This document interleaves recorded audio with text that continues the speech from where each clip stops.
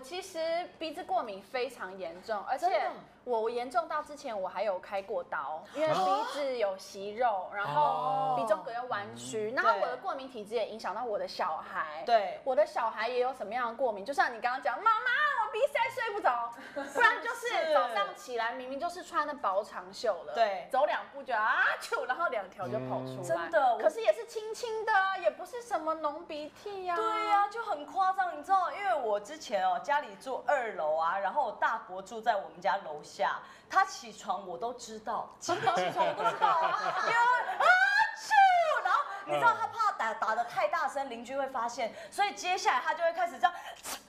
捏着鼻子有没有？结果你怎么发现震动发现的？全家都在动了，有没有？真的可是这样真的太严重了，过敏真的会生不如死，太痛苦。嗯我们就来检测一下，到底你是不是过敏？好好，你的过敏症状有没有这么夸张呢？好，一起床就狂打喷嚏，我相信大家都有哈。啊 刚刚就说，这就是我，而且我有时候睡到半夜的时候，也会突然就一直揉鼻子，然后起来就一直哈啾哈啾哈啾，半夜就会这样。但这就是过敏。对啊，哦，好痛苦哦。然后第二，秋冬都只能用嘴呼吸，鼻子是装饰用的，你知道吗？鼻子只是五官的其中一个，对但它没有作用。小孩很容易这样哈，待会再来分享。好，第三，每天用掉两大包卫生纸，这么夸张？怎么只有两大包呢？真的假的？我们家一个礼拜应该会用一串吧？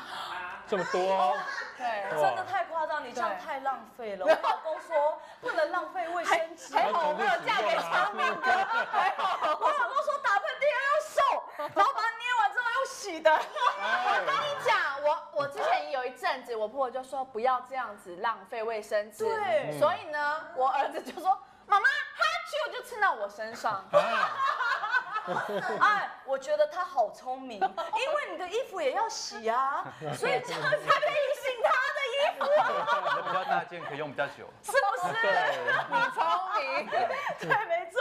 好，接下来是连眼睛都会红肿，天哪！一定。的。我们家只要一躺上床，嗯我大概不到一分钟，我就开始擤鼻涕、揉眼睛，我就知道啊，一定又是不知道什么过敏源，嗯不知道尘对螨还是什么又找上我了。对，而且很很奇怪哎，都是秋进入冬季没错才会开始这样，到底为什么呢？那我们请三位一同来举牌喽，好不好？也提醒粉粉们有相关问题，赶快立刻线上问诊哦。好，第一题，请问打喷嚏超过两周就是鼻子过敏，对不对？请举牌。两周也太久了，哎呦，心怡，你有超过两周啊？我三十一年，从小到大真的，假的？真。的，我我我就是你大伯那样的人，就是一打喷嚏全家都知道了。所以你是都不停的吗？我是真的，只要尤其你讲没错，就是呃呃秋转冬的时候特别明显。每天每年的这个时候我都好痛苦啊！还有一个是呃要转春天的时候，花粉季哦也是花好惨，粉季好惨。啊，那你每年最舒服的时候日子很少哎，夏天，只有夏对天。，进冷气房也会打对，喷嚏哦，我的。妈呀！陈医师，嗯。为什么你举三角形呢？因？为其实过敏哈比较严格的定义应该是说要有些东西来刺激它，造成这些现象才叫对。过敏嘛。对。但有时候是感冒后期没有好，那不能，我觉得严格来讲不能叫做过敏。哦对，可是对。过敏会超过两个礼拜一直做同样一件事打喷嚏吗？，你说一会。一个那个刺激源一直都在的话，像说你到床上就会打喷嚏流鼻水，对。那个过敏一直在床上没有清掉，每次到床上就打喷嚏流鼻水，那就是过敏了嘛。我懂，所以那陈医师，你也是这么认为吗？对，没错，就是要有那个刺激物在，它可能会打打比较久。可是如果是过敏的话，它有个特色，它喜欢在特定的时间地点发作。特定的时间地点，也就是说，哎，上班的时候不会，但是回到家就会。对对对，对是这样子。真的假的？如果你为什么？如果你是尘螨过敏的话，其实在室内家里最容易发作，所以可能出门的时候，哎，都还好，走走走都没事，回到家门一关起来，开始眼睛痒、鼻子痒就发作。哇，天哪！那所以对另一半过敏啊对，一回家，老婆在家打开打喷嚏流鼻水。那是你吧？对你老婆过敏。我鼻子还不错。好，我们等一下再来聊哈。OK，接下来第二题，请问流鼻涕、流鼻涕、流鼻涕超过一个月就是鼻子过敏，对不对？请举牌。流鼻涕耶，一定对。你们为什么两个都有意见？我流了三十一年就是这样且流的都是透明的，对不对？就是透明，然后不是黄的那一种。过敏通常都是像水一样。轻轻的，对，不会有鼻涕的症状。陈医师，对啊，所以就跟刚刚讲的一样，你要有些刺激物嘛，对，特定的时间、特定的地点，那个才叫过敏。对，那有的时候莫名其妙就流鼻水，要去找一下，是不是感冒了？对，那呃，陈医师，我想请教，呃，两个都陈医师，那个硬装啊，请问哦，那个。过敏的流鼻水通常都是白白的，然后像水状，不会是就是那种浓稠状。对，绝大部分都是透明水状去流出来的，会到有浓稠状、黄黄绿，通常是合并细菌感染。那就已经是发炎了。对，发炎感冒。发炎感冒。对，可是在小朋友有一个状况也是会出现，这样长期流鼻水或打喷嚏不会好，就整拿东西往鼻孔塞。他每天都塞，他也蛮厉害。异物塞的，对，他卡在里面没有拿出来，一直反复刺激，也会一直流鼻水哦。哦。真的，小朋友比较常见一点。小朋友就任他流吗？不行，拿要赶快拿出来，是要做检查。拿出来对，哎，这样鼻子都里面有东西，不是不舒服吗？对对啊，对啊。有之前有小孩会这样。之前有一个更夸张，英国一个人，他就到他老烟枪嘛，可能到四十岁左右开始。开始咳嗽，咳不好，去检查检查，两年都找不找不出问题。后来医生用气管镜去照，发现里面有一个小东西卡住，才发现原来是四十年前他玩小汽车的时候有个那个三角锥，三角锥。卡了四十年，玩具三角。对，卡了四十年，然后他本来以为以为抽烟嘛，抽太久会咳嗽、肺癌什么，检查都没问题。对，去照那试管呃气管镜才发现说一个小东西卡在那里。现在这零件也找不到了吧？真的，我也是市面上都没有卖了。我也是太佩服 他，他就这样痛苦了四十年啊！我想到了，嗯，就是刚刚陈医师讲的例子，嗯，我有一次就是在擤鼻涕的时候，我把它摊开，就擤擤到最后已经变得有点烂烂的，对不对？有一角被我吸进去了，然后我就觉得怪怪，可是那张位置还是很正常，因为烂烂我也分不出来到底哪一角，结果。在半夜的时候，我也打了一个大喷嚏，把它醒出来。但是就像陈医师讲的那个那一段中间的时间，我就一直不断的流鼻水。对，就是真的刺激到你，这样我刺激到，然后又过又引发里面的过敏发炎，对。不对？我唯一醒过的就是范例。像到半鼻孔很有可能，对不对？鼻涕有有可能从鼻子出来啊。而且你如果没有醒出来，在里面如果噪声，还是会有臭味啊，会会败坏。所以饭粒在里面会噪声。对，有些食物如果卡在很里面的地方，你没有弄出来，真的会有些臭味。真的。有些就以为是什么鼻窦炎啊什么，就一检查东西拿出来就没事。那我请问一下，如果真的有异物卡在这里，是找耳鼻喉科吗？对，耳鼻喉科。嗯，好，OK，还是要小心啦哈。好，接下来第三题，请请问。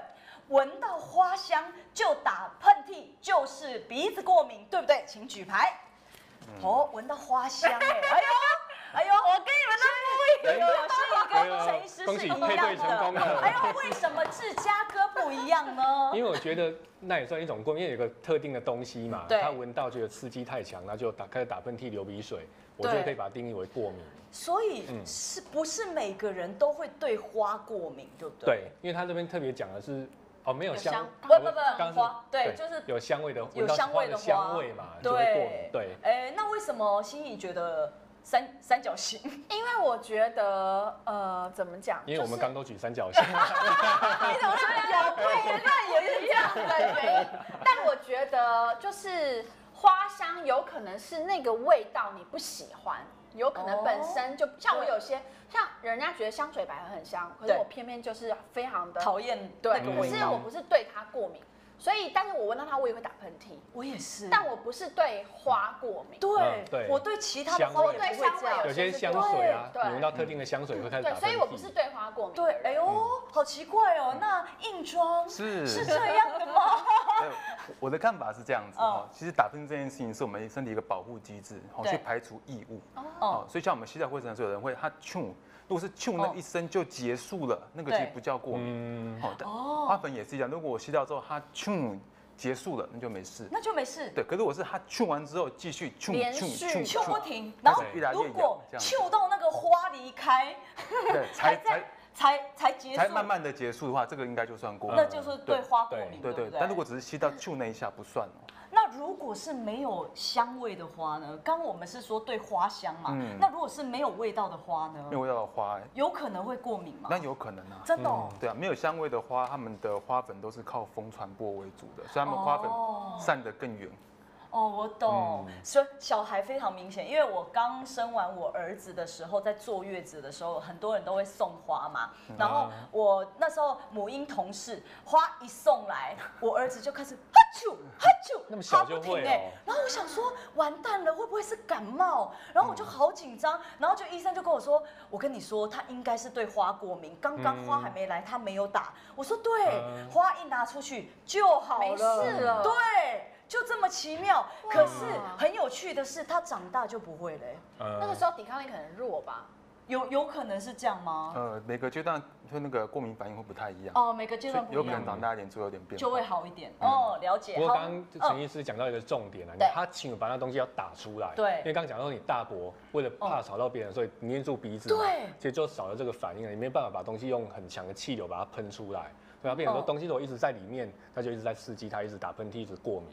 那你问到了一个好问题，请问一下，打喷嚏要让它打出来，对，还是要按住？一定要打出来，一定要打出来。因为我们你知道那个气流的速度很快，听说可以达到时速一百多公里吧？哇，跟开车一样快。对，那你那个气不出来，它会去哪里？之前有看到一个新闻吗？对，没错，它往脑子顶顶冲上去，把颅底冲破了，脑浆就流出来了。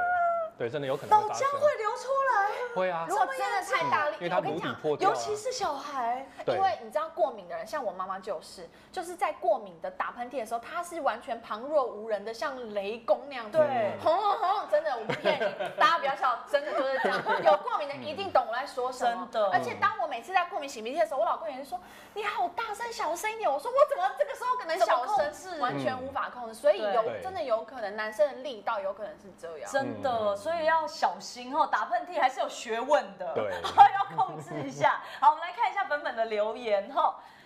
帅峰说花粉症更可怕，花粉症跟过敏也有关系，对不对？对，花粉就是花粉的鼻子过敏。哦，了解。所以他只要是看到花就害怕。对，日本只要有花粉症，很日本很多花粉症的，他们比较干燥。哦，了解。好，杰红说，我这两天下雨，鼻子比较痛。哎呦，请问是不是下雨鼻子过敏症状就会比较好呢？陈医师，这就要看他对什么过敏啊。如果是像是对花粉啊，或是对空气中的一些 PM 二点五等等的，或是灰尘比较过敏，对，下雨的时候会比较少，所以有时有可能会改善一些些。原来是这样，湿度高这些都会沉积的比较快。不用请算命老师了，怎么了？请陈医师就好了。真的耶，那么厉害啊！哎，有的人。先呃先什么？Serena，Serena，啊，我英文不好，有一个英文好的最好。Serena 有。我只要闻到香水味，鼻子就会很痒。有的人会对香水也会过敏。会会，这种是属于化学刺激物型的。哦，化学。化学。可是有人说，有的香水是用天然的精油制造的，这样也会吗？它一样是一种化学物质，它是不是被人工合成的天然化学物质？哦。哦，了解，所以一样还是会，所以闻到香水味还是会打喷嚏。对，所以我们都建议过敏小朋友尽量家里不要用这些东西，不管是天然还是人工的化学东西，化学的东西尽量少用啦。哈，好，OK。